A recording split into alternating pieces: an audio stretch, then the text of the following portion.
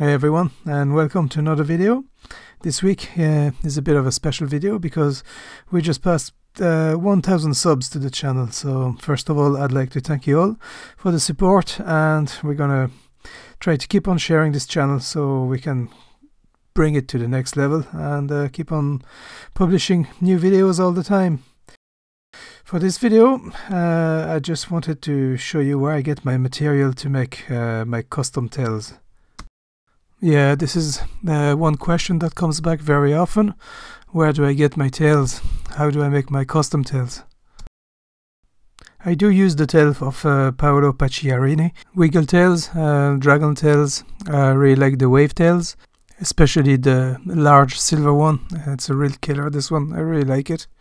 For the wiggle tail, uh, I really like the, the slim version, but uh, sometimes in dark and colored water, the, the large version is pretty good, makes a lot of movement, a lot of noise in the water.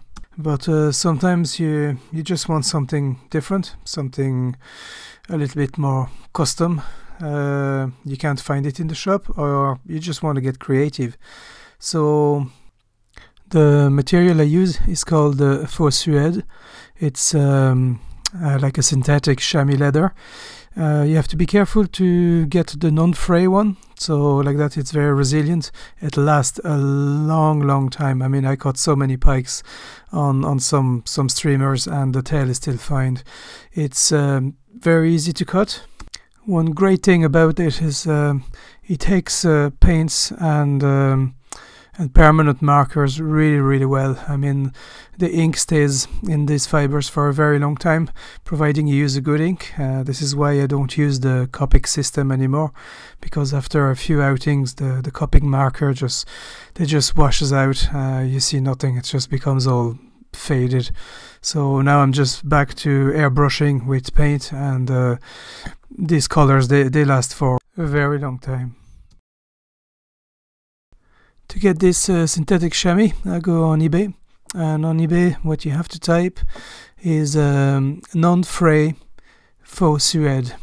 And uh, like that, you'll be sure to get the the right type. Uh, for some reason, the one that I get comes from North Korea, so it's usually a fairly large large sheet. Uh, he have for hundreds and hundreds of streamers. Uh, I usually go for the white because uh, you can color it to any color that you want after you can customize it.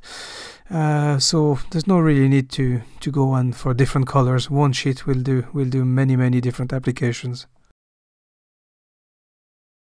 well, thanks for watching. Um, as a little bonus, I'll leave you with uh, some footage that I found on my hard drive from um, the last outings in Alaska.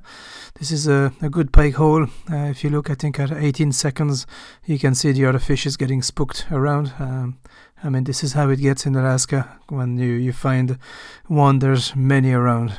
All right. Good night.